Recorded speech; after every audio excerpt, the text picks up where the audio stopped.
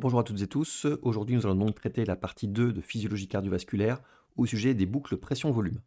Alors, évidemment, pour bien comprendre ce qui se passe dans le cadre des boucles pression-volume, il faut d'abord avoir une bonne idée de ce qui se passe sur le cycle cardiaque et donc avoir en tête toutes les notions vues en partie 1. J'ajouterai que euh, les notions que nous allons aborder ici ne sont pas impératives pour le programme de l'EDN, mais c'est une base solide pour la compréhension de la physiopathologie de l'insuffisance cardiaque. Alors on débute, le graphique que l'on va voir tout le long de ce diaporama, c'est celui de gauche hein, qui représente une relation qui va exister entre la pression dans euh, le ventricule gauche et le volume euh, de ce dernier. C'est un cycle, donc nous allons nous déplacer le long de ce cycle euh, petit à petit. Dans un premier temps, nous verrons la situation physiologique avant d'envisager des situations d'insuffisance cardiaque.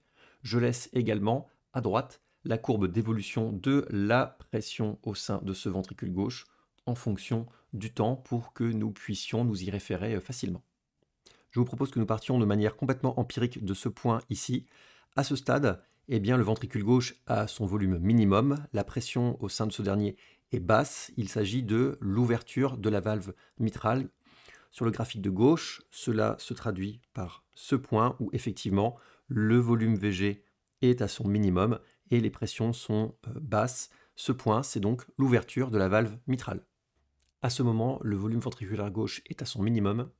Il s'agit du volume télésystolique qui ici vaut environ 50 ml.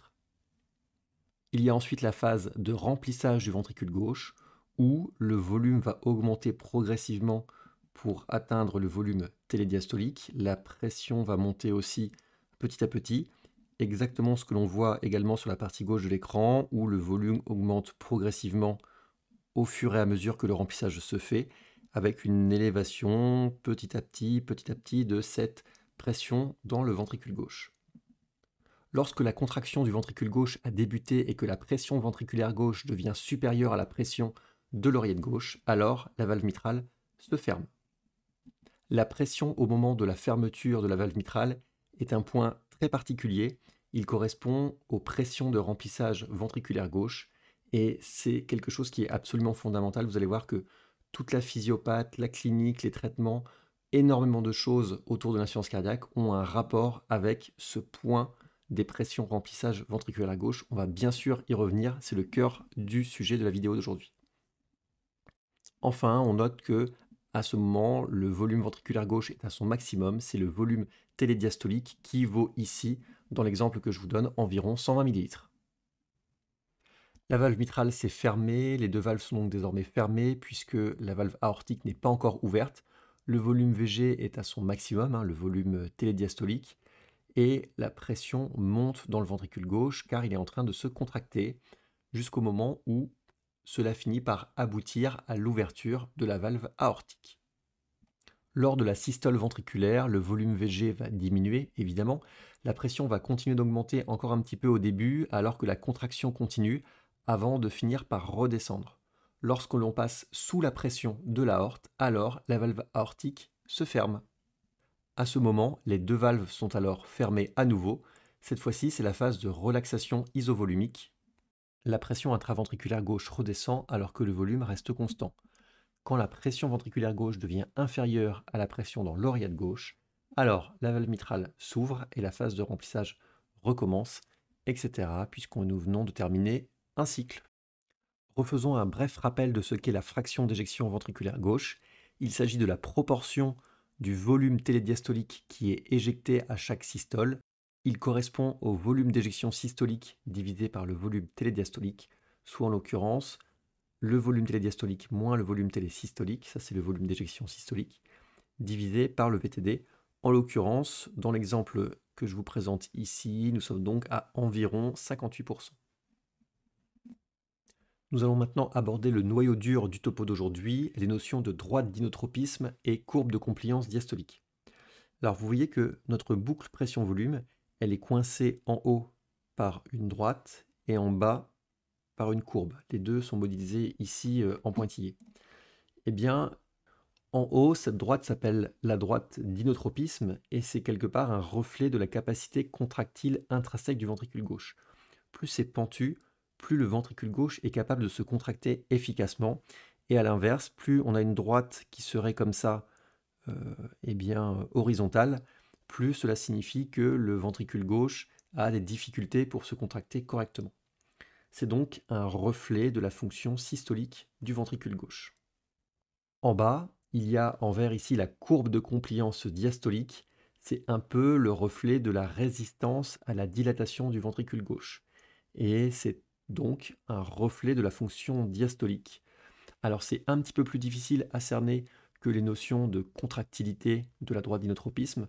Je vous propose de zoomer pour essayer de vous expliquer ça de manière un petit peu plus concrète. Alors cette chose se lit de la manière suivante. Si vous appliquez une augmentation de pression d'une valeur de delta P sur un ventricule gauche qui a une valeur basse, qui est vide, alors cette augmentation de pression va permettre de gagner considérablement en volume.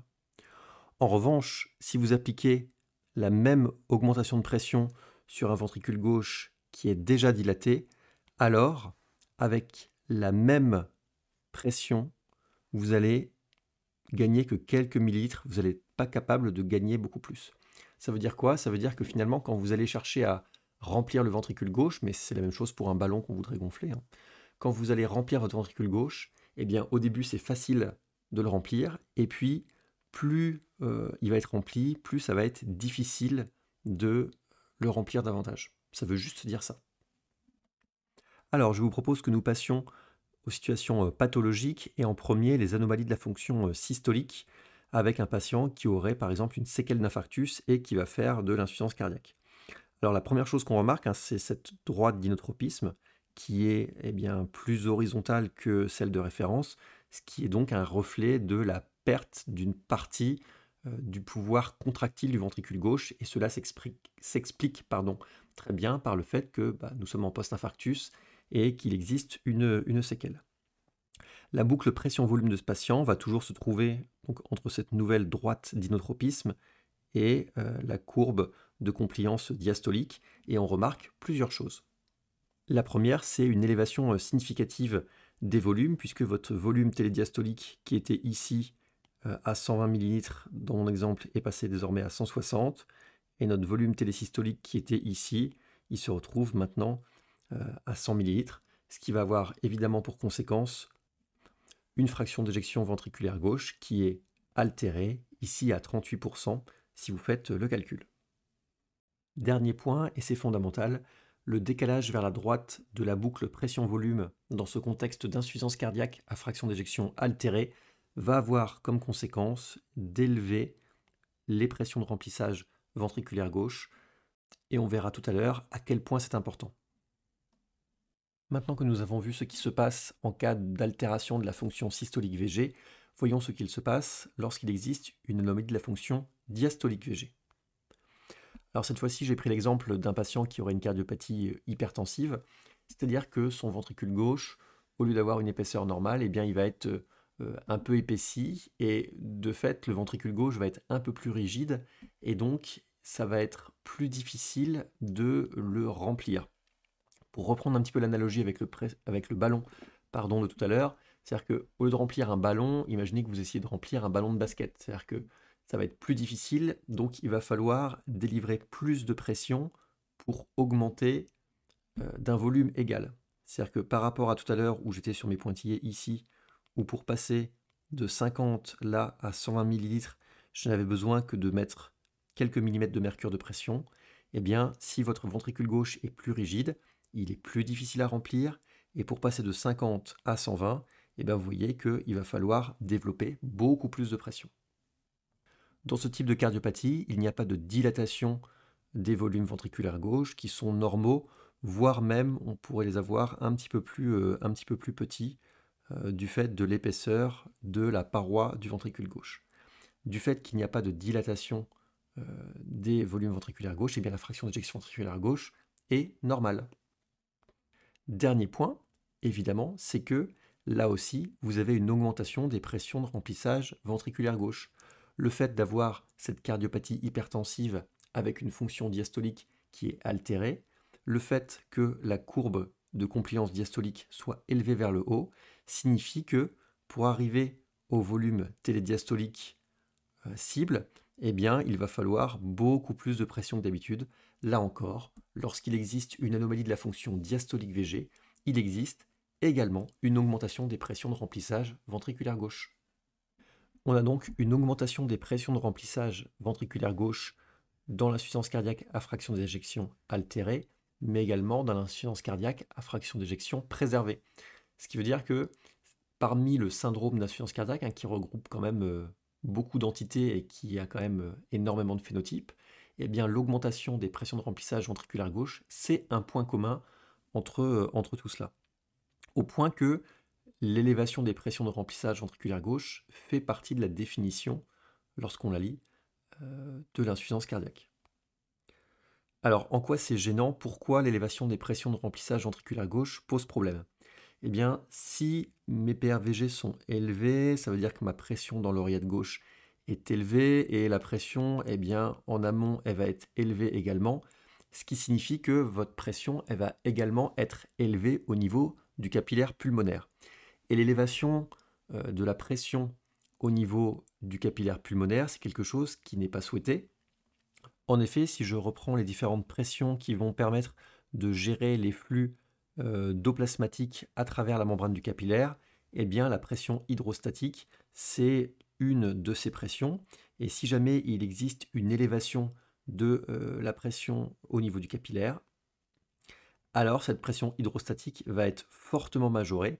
Cela va déséquilibrer euh, l'équilibre justement entre ces différentes pressions et on va donc avoir une sortie importante d'eau plasmatique. Cette eau plasmatique va se retrouver dans le milieu interstitiel et au niveau du capillaire pulmonaire, le milieu interstitiel, très rapidement derrière, il y a l'alvéole pulmonaire. Cela signifie que l'augmentation de la pression capillaire au niveau du capillaire pulmonaire va avoir une conséquence désastreuse, celle de faire sortir de l'eau plasmatique dans l'alvéole, ce qui donne les signes d'insuffisance cardiaque gauche, voire d'OAP si on est dans une situation aiguë. Donc si vous avez compris tout ça, eh bien vous savez désormais pourquoi que l'on soit dans une situation d'insuffisance cardiaque à fraction d'éjection préservée ou une situation AFEVG altérée, dans les deux cas, il existe une élévation des pressions de remplissage ventriculaire gauche, ce qui conduit à une élévation de la pression dans le capillaire pulmonaire, à une sortie de l'eau plasmatique dans les alvéoles et au signe euh, d'insuffisance cardiaque gauche. J'en ai terminé pour cette courte vidéo hors série et euh, je vous dis à très bientôt pour eh bien, un nouveau topo. Bonne fin de journée, au revoir.